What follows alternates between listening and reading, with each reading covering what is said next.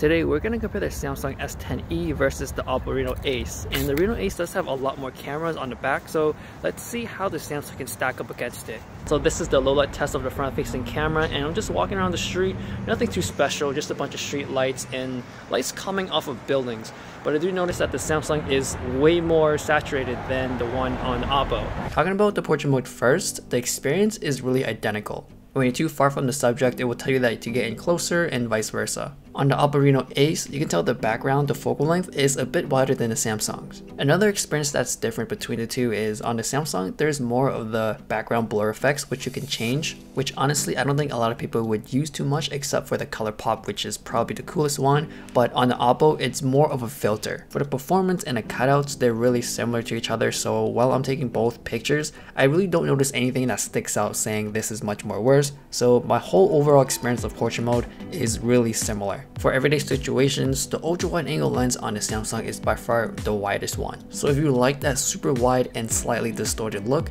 then you can just go for the Samsung S10e. As we zoom in each time, the Oppo Reno Ace does have its telephoto lens, so it's obvious that the Samsung is not gonna win there. If you realize you zoom in a lot when you're taking pictures, then obviously pick a phone with a telephoto lens. For HDR, I would go with the Oppo Reno Ace. In the shadows, you can clearly see more detail on the Oppo, whereas on the Samsung, it's kinda dark. And that may have to do with the Samsung contrasty look because I do prefer the colors coming out of the Samsung much better. Because on the Oppo, even though the HDR seems better, I would say it feels like it's just bringing up the shadows where we can see a little bit more noise in the darker spots. And I think that's not going to be a big deal for a lot of people out there just because they can see more. So when they clearly see the brighter picture, then I think a lot of people would prefer the Oppo than the Samsung. But going back to the colors, the Samsung is obviously more contrasty and more saturated, so the blues really stick out from the sky, the browns off of the tree really sticks out, whereas on the Oppo it's kind of dull and flat, and honestly that's how it really looks like from my eyes. For low light shots, I noticed a switch happening. I realized on the Samsung the ultra wide angle lens keeps that natural yellow street light look, and the ultra wide angle lens on the Oppo kind of does the white balance thing where it makes it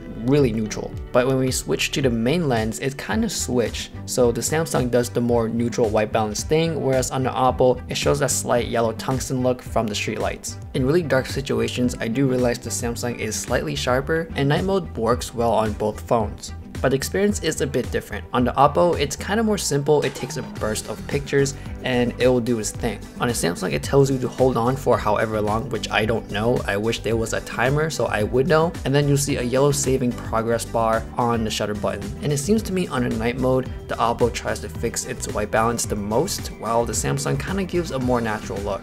Now moving on to 4K video, the stabilization is really identical, I can't really tell which one is better. But the biggest difference here is the color. With no surprise, the Samsung does come out way more saturated, as you can tell looking at the leaves and the trees, the brown really sticks out. But the Oppo image really looks closer to real life, so from my eyes, what I see is actually what the Oppo sees.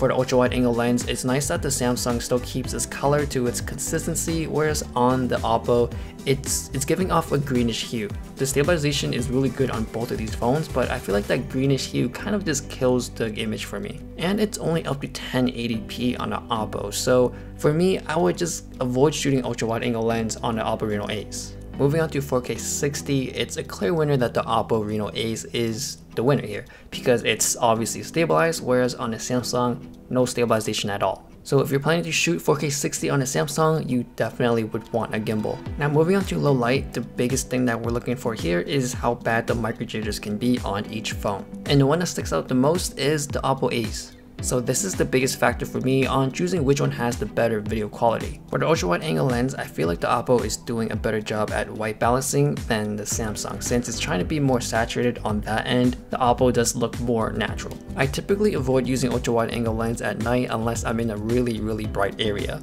Now for 4K 60, I don't know what happened here or how the stabilization is turned off on Oppo because when I did the iPhone versus the Oppo Reno Ace, the stabilization worked fine in low light, and I didn't see any settings to turn off stabilization, so I think this is more of a glitch, so now I know that this may happen to the Oppo phone.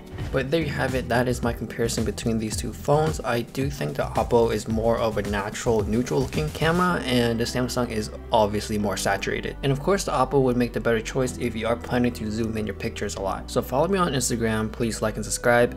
Thanks for watching and I'll see you guys later.